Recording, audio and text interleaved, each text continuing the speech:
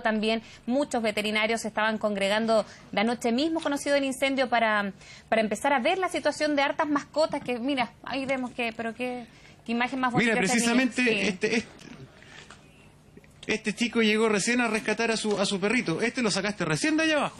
Sí, ¿Cómo se llama? eh, Toby. Mira, valiente Toby, resistió.